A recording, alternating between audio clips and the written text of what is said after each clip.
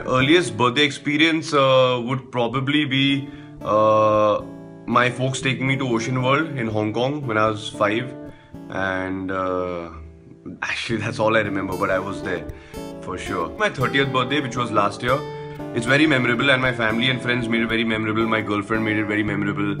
Uh, they had put together this uh, really nice video. Uh, I share my birthday with Ben Stiller, so that is pretty awesome. I have a lot of birthday cards and uh, you know like little notes which it's like a kind of something we do at home in our family. My, my, my dad will write me, my mom will write me, and I write them stuff as well on their birthdays. So that's something I still have and I really cherish. It means a lot to me. Even though I celebrate my birthday uh, on the 29th of November, I usually end up celebrating in December because that's party month. And by now, I'm sure you know that I love having parties and having people over and doing all dhoom dham and all that. And December is just like a fun time, you know. You got like Christmas, you got New Year's, a lot of weddings happening. That one festive spirit is in the air.